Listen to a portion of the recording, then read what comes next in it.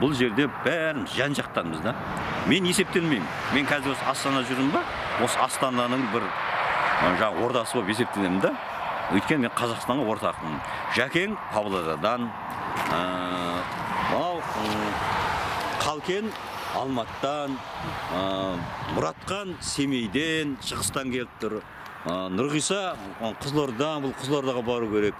Сен ақтөбеден енді қарашы енді. Енді кім бар тағы? Ерлан. Ерлан ерлан шымкенттен енді қарасаң біз қазақстанның барлық жерінен жиналып басымыз осы астанаға басымыз қосып тұрмыз оның да үлкен бір белгі ғой бізді құтқарып келе жатқан біздің а, бұл а, бір біріміздің қазақ тұрғысында бірін сыйластық осы ата дәстүрін бірігіп меңгеруге тырысып жатқанымыз барлығы бірлікте тұр міне исламның бірлігі деген сол. Әкем 90 үшінде қайтты.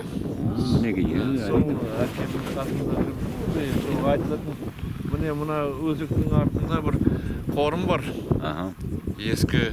Сол айтатын онда бір үлкен бақсы жатыр деп. Ал ол маңайда осы су бар ма енді? Өзекке су өтеді а? Мінекей. Талқара деген. Енді оған қалай барамыз қазір?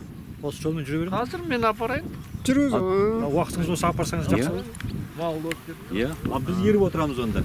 Или біздің көлікке жүріңіз. Жоқ жоқ мотоциклмен жүресіз. Әдемі ғой мотоциклмен жүрген. Жоқ егер қаласаңыз отырыңыз.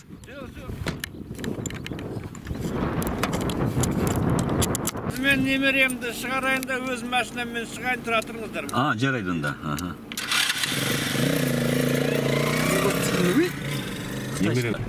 Алланың хикмет деген осы мына кісіні жолықтырып білетін адамды осылай жетелеп келеді алдыңда ашады деп түскені осы ғой.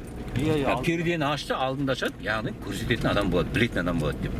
Ал бұл кісі ол абылайхан жатыр деп ойламайды бірақ ол бақсы деп отыр ал енді менің білетінім ол нұр шығатын жер онда ол жүз пайыз абылайхан атаның о үстіме еніп жатыр бір нәрсе еніп жатқан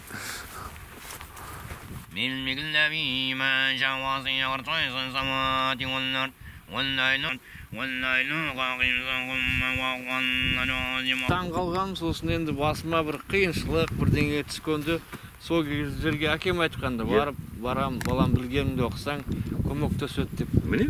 Таң қаламын сол көмектеседі таптық. Сол жер қабыл болсын. Иә бірден салды осы жер деп салды ғой иә сол жерде осы жер жақсы аға енді түсінікті ол тылсым немен тауып отырсыз енді деген.